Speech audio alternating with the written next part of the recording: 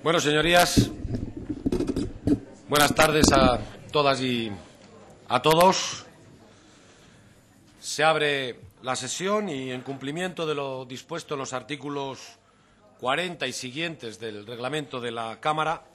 se va a proceder a la constitución de la Comisión Constitucional. Pero antes, como saben, es tradición parlamentaria que el presidente del Congreso participe en la constitución de una de las comisiones de esta Cámara. Y sabiendo que todas ellas son igual de importantes, yo he querido hacerla en esta, que está presidida por la imagen de, estas personas que desde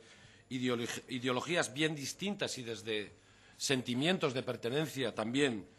bien diversos fueron primero capaces de entender cuál era el verdadero afán de su tiempo, el verdadero sentir de una ciudadanía que quería dejar atrás un tiempo oscuro. Y segundo, fueron capaces de entenderse y acordar por encima de las legítimas diferencias, sabiendo que su obligación no era ahondar en lo que les separaba, sino airear lo que los unía.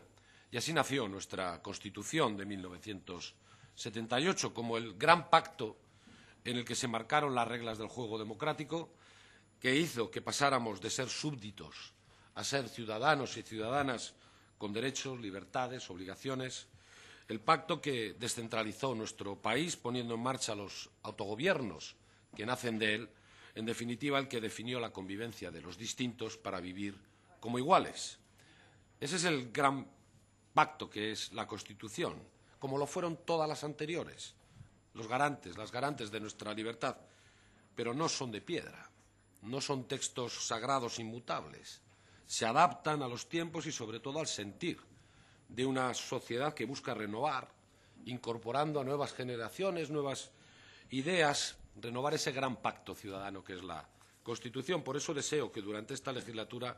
la Comisión Constitucional pueda desarrollar una fructífera tarea, entendiendo, como lo hicieron entonces, cuál es el afán de este nuevo tiempo, cuál es el sentir ciudadano y que por encima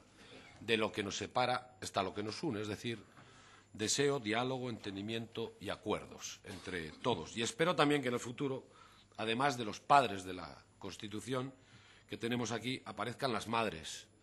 que impulsaron y la renovaron para que siguiera siendo la historia de un éxito.